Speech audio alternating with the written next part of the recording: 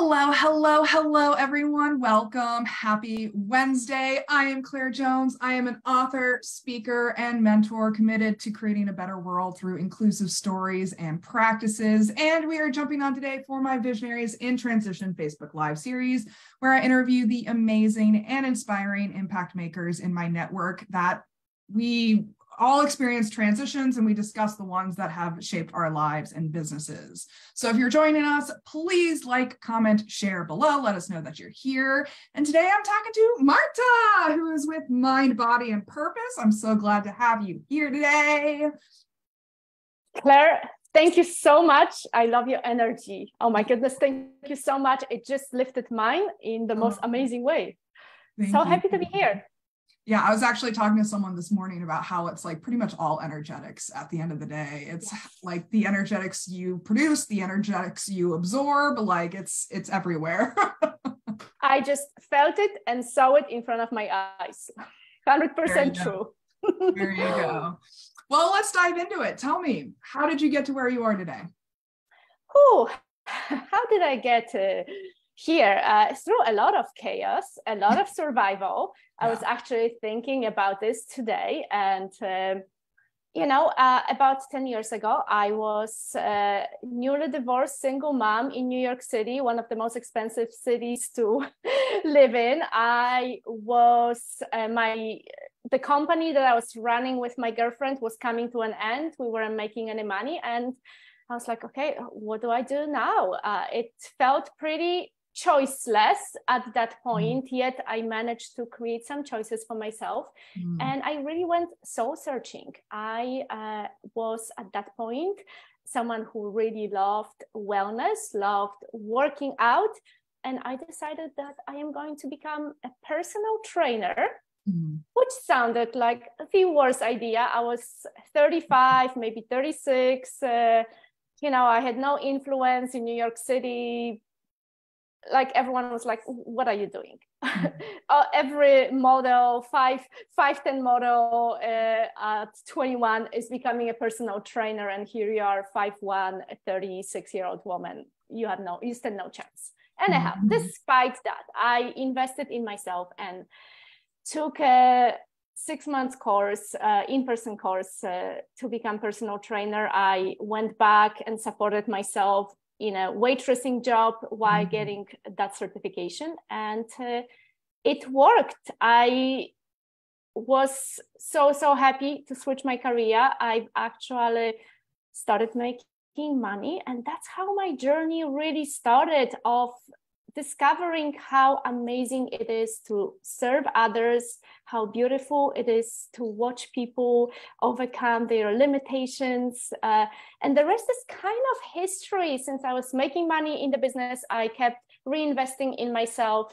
I mm. became nutritional coach and then a life coach. And uh, here I am 10 years later, um, not personally training mm. actively i still have some clients from 10 years ago wow. a few but uh, very happy in my uh, working as a life coach in a quite multidimensional company so mm. chaos and survival brought me here yeah i love that i love that because you know, when we are bucking the status quo and doing something different than other people expect, like I read a line in a book actually yesterday that was like, if you continue being the person that you are, you are always going to have people who misunderstand you, who doubt you, who just question everything that you're doing and make you doubt yourself as well. And it's so important to have that awareness because you need to shore yourself up in the process. And I'm sure as you went through this process, you found a lot of people who were attracted to that non traditional personal training service that you offered. Yes, absolutely. And and I think, you know, that's funny that you said the word awareness. I felt at that point was probably just ignorance. Mm. but you know it was blissful and it moved me forward like i mm. was not overthinking mm. i just was following my heart because in that choiceless situation i felt like that was the choice actually that could uh, you know nourish me on many levels financial mm-hmm. level soul level emotional satisfaction level and and it really i, I just went blindly into it uh, and yeah and i no think regrets. that's using that self-fulfillment aspect of it to make these decisions in our lives is so countercultural. Because so many people in our culture work from the outside in not from the inside out. And that's what we're talking about here is like starting with our own fulfillment, our own sense of happiness and passion and excitement, and then building from there rather than trying to retroactively fit other people's expectations to our sense of fulfillment. Absolutely. And it kind of brings us back to energetics, right? Because if you have that energy of just from inside out, that is going to keep attracting and magnetizing and, and also nourishing you from mm-hmm. inside out. So you not run into uh, that depletion that comes very often from the the safe choices that we make. Totally. Yeah one of my favorite metaphors that i've thought of for this kind of thing that we're talking about here is like using colors. Like internally i'm a purple person you know? Like my internal color is purple for example. I'm just using examples here but the world outside of me is telling me I should be blue. And so, like, purple is close enough to blue that I can probably succeed to some extent as a blue person. but I can't reach the full success that I can as blue because I'm just fundamentally not blue. I'm purple. So I can That's only right. really achieve full success when I'm my full purple self and not pretending to be blue.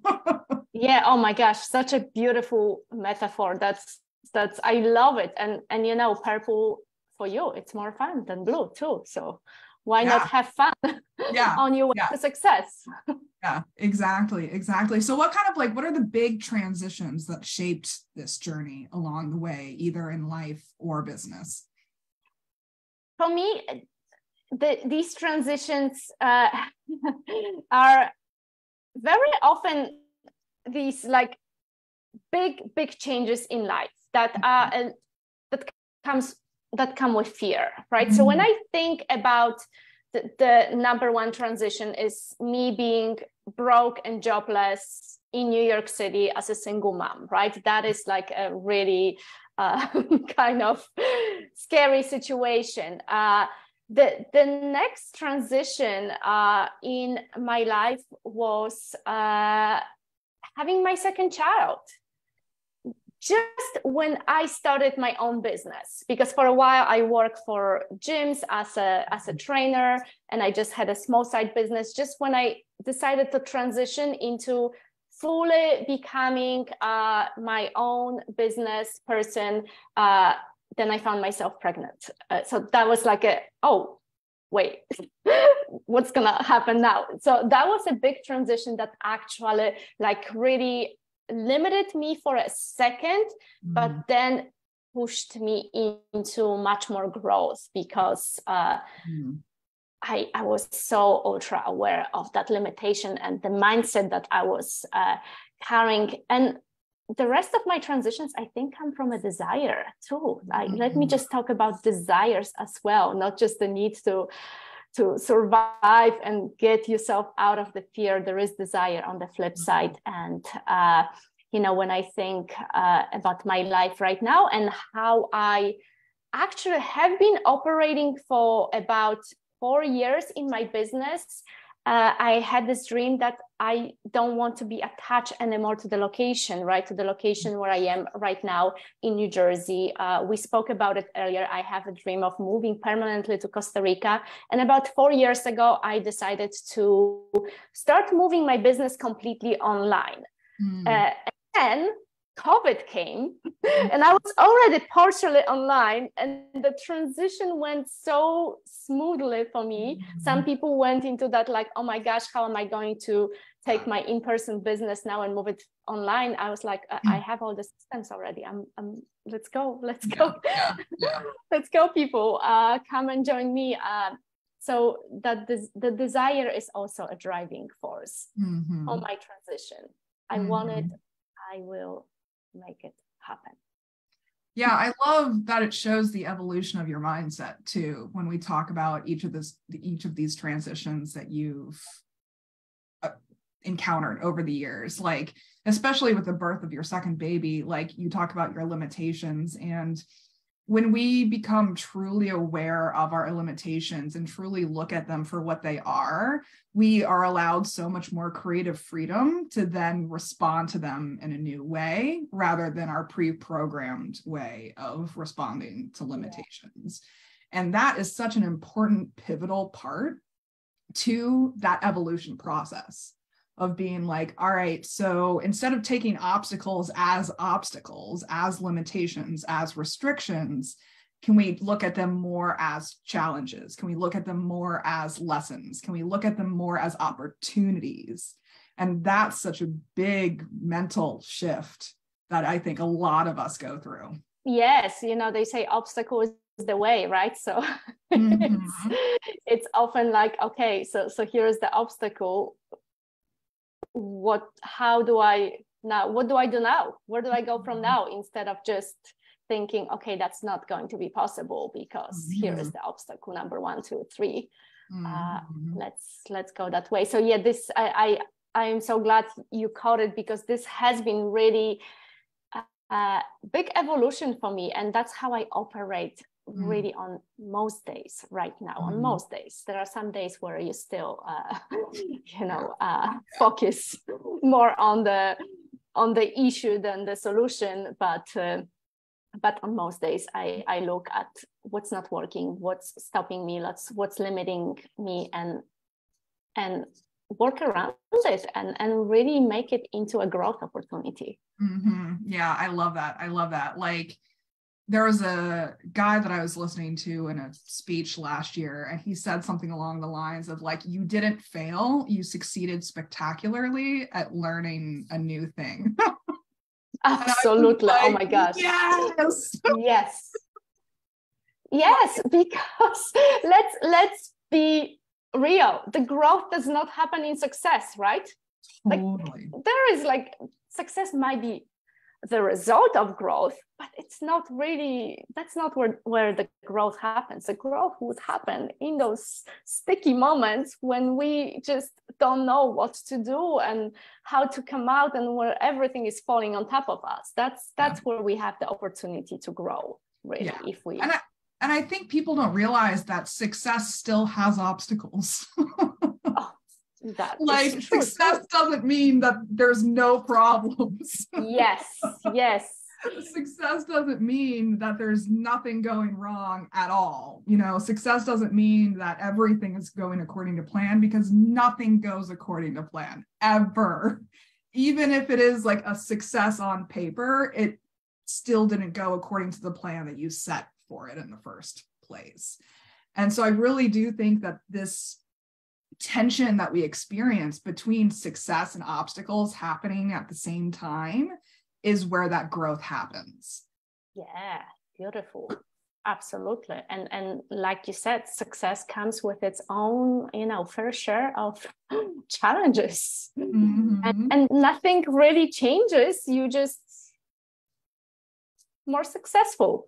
Yeah yeah. But life keeps on going. Uh, I use this a lot. Uh, I work a lot with weight loss uh, clients, uh, mm. and I, I use this this metaphor a lot with with my women. I said to them, you know, when you lose twenty pounds, that's what it is. You lost twenty pounds, and your dress size is smaller, but you still wake up in the morning and your children are going to still annoy you you know your boss might be mean to you uh, you're still going to run into the same you still have to pay your bills right? Like it's still kind of the same life.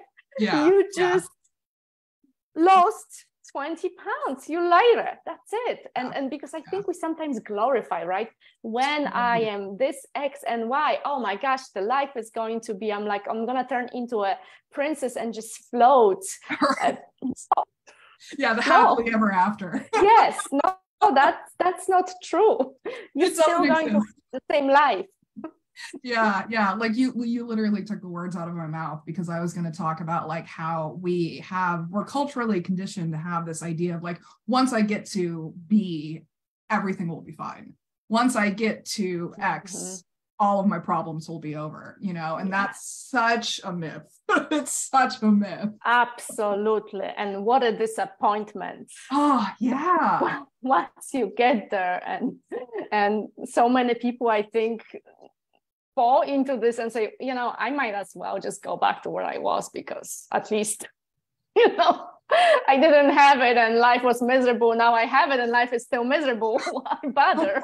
right. Yeah, yeah, exactly. Which I mean, we've kind of been talking about this already, but this begs the next question of like, what lessons did you learn along the way throughout these transitions? I learned the lessons that that I am, how would I say it? I am the cause and the effect, right? Mm. I am the creator mm. of my reality.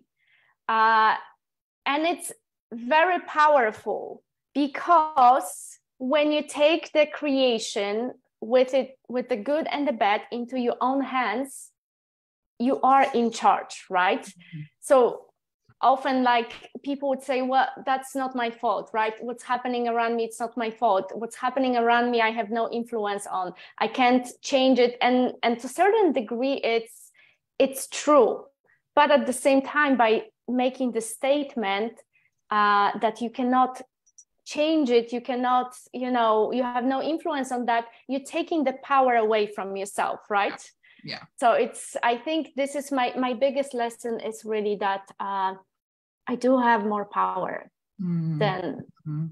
we than i think sometimes in those situations when we feel powerless right? That there is still place for power. There is place to to make decisions on your own from the place of uh, you know knowing that you are the creator of your mm-hmm. reality.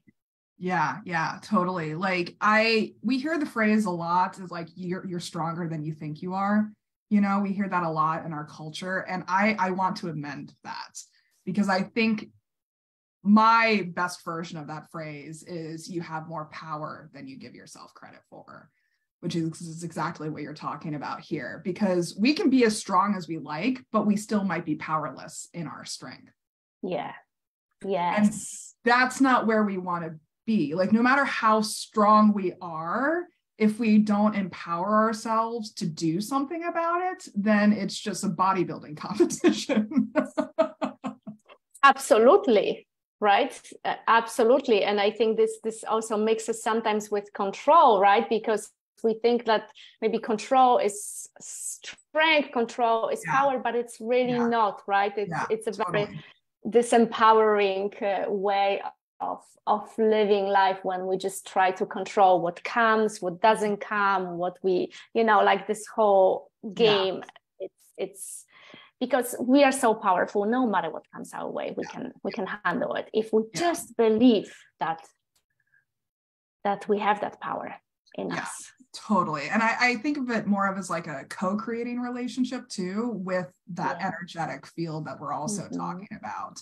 Because divine timing is definitely a thing that definitely that affects us in our day-to-day lives whether you call it universe whether you call it god whether whatever you want to classify it as. But it's this powerful co-creating relationship with our external reality that we need to harmonize with our internal reality. And that is where the power is born because you have influence in both realms. Yeah, yeah. I love this co creation and harmonizing. Mm-hmm. So beautiful. Mm-hmm. So beautiful. So much ease in it too, if you really think about yeah. it, right? Yeah. Yeah, totally. Which begs the next question is like, what kind of practices have you used to support yourself over these periods of time, either mentally, emotionally, spiritually, physically? Oh, I am so simple. I am so simple. Movement, mm. nourishment. I really, believe that what we put in our body has a huge impact on our states, mental, emotional state, not just physical state. Uh, and of course, I'm not perfect therefore i know that this has an influence and it can impact us one way or the other depending uh, how we nourish ourselves uh, what did i say i said movement nourishment mm-hmm. stillness mm. three big practices uh, and then recently I've been really into reflection, which for me that's journaling.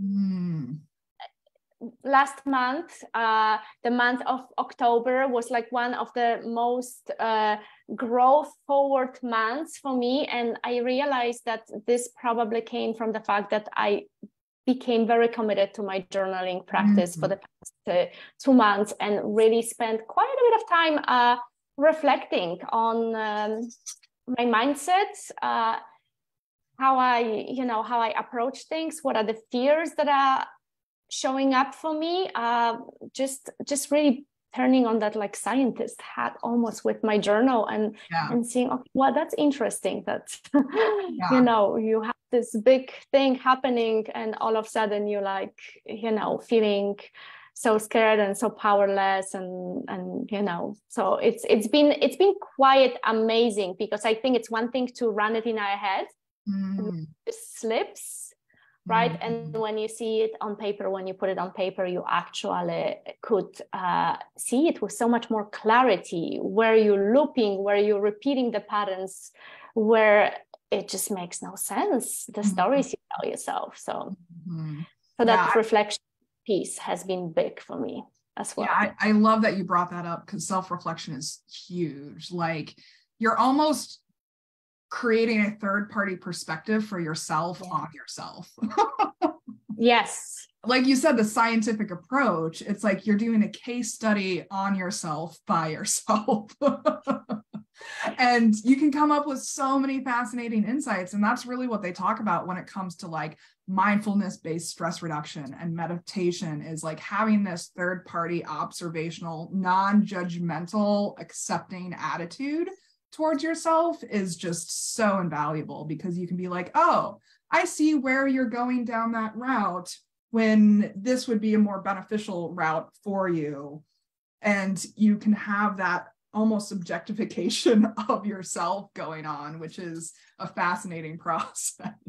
Right. You not become like you're not so enmeshed with, you know, the feelings and the fears and the emotions and the triggers, like you you actually able to you, you self-coach yourself in a way right because mm-hmm. you get out of the box that mm-hmm. you stuck in and you take a look and, and, say wait a minute the exit is right there. Why are you still stuck in a box? Yeah yeah. What's keeping you here? Yeah yeah. And i think it also is helpful for at least me personally to understand where my true values are as well mm, and what yes. my true desires are as well. Because like we've been talking about throughout this call is like there's so much external influence on us on a day-to-day basis that we often pick up other people's values other people's desires other people's wants and expectations for us without actually wanting them for ourselves. And that's where that disconnect happens as well. And i find that this self-reflective practice is being like oh yeah i actually don't want that status symbol that you're telling me i should want you know yes. and having that self knowledge is so instrumental because then I don't waste time chasing after whatever it is when I actually don't want it, which increases the likelihood of fulfillment down the road. yes, the likelihood of uh, just having joy, more joy in life, right? If you don't waste that energy on things that do not mean anything to you. Yeah right which i think we all get stuck in it and and some people are more stuck in it and then you know they wonder why am i so depleted why am i so resentful why am i just not able to enjoy life anymore. Mm-hmm. And there is the answer because you're not really living your life, you're living mm-hmm. someone else's expectations or agendas and mm-hmm. so on. Yeah, yeah, yeah. I, I cannot say more for self reflective practices, whether it's journaling or meditating or even like prayer. Some people use that as a self reflective yeah. practice, like whatever works for you absolutely and and you know and it's it's amazing for breaking patterns right like like mm-hmm. because we all a walking pattern and not all the patterns are serving us mm-hmm. they serving us but not serving our highest selves yeah, let's, yeah. let's be realistic all the patterns we have they serve some purpose mm-hmm. we don't do anything for no reason as humans but you know i find journaling practice so beneficial with actually catching yourself in the patterns and and being able to like say, okay, that's it. I'm not doing this today. Today, I am actually going to go the opposite way. And mm-hmm. if you catch yourself enough times, that's it. You change the pattern.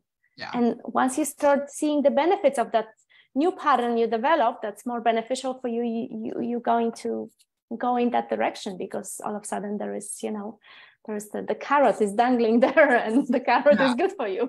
Yeah, yeah, right. Candy, carrot. yeah, yeah, yeah. We're moving beyond the stick to look at yes. the carrots. yes, yes, exactly. totally, totally. All right. Well, anything you want to add before we wrap up for today? Oh, it was such a pleasure to chat with you. I honestly, I didn't know that conversation will take us the places it took us. I mean, uh, I love it that's why I love these conversations. Like I tell everyone, it's an informal conversation. If we get off topic, we get off topic, and that's completely fine. Can't wait to watch it. And yes. we talked about powerful stuff, which is just yes. like the sweet spot. I, I cannot wait to watch it and get more of your wisdom in my ears uh, and get some great aha moments because it always happens right? When you have these good good conversations yeah, you don't yeah. even realize that yeah. there's gems hidden everywhere. Yeah that's exactly why i publicized this because i was like i have all these conversations in one-to-one meetings and not enough people are hearing the things that we're saying. Yes yes uh, all right. So this is really powerful stuff that we're talking about today. Per usual, an audience, we definitely encourage you to share your own insights and feelings and lessons and stories with us as well. We'd love to know how transitions have shaped you in your own lives and businesses. Special thanks to Marta again for joining me. It's been an absolute pleasure. Thank you. Thank you, Claire. Thank you for rising my energy. I feel like a rock star for the rest of the day. Happy Wednesday. Amazing. Thank you for having me totally. All right. So please comment, like, subscribe below. Check out Linktree slash Clairjoyance for all of my links. And then where can people find you, Marta? People can find me at mindbodyandpurpose.com. My most um, up to date place is Mind, Body, and Purpose at Instagram. And yeah, these are the two places where I hang out the most my website and my Instagram account. Uh, come and join me there. Awesome. And I'll put the links in the comments so everyone can easily access them and all that jazz. But until next time, please remember that your authentic self is extraordinary, it is wonderful, and you owe it to yourself to create the elevated life that you know you are capable of. Take care, everyone. Beautiful. Thank you.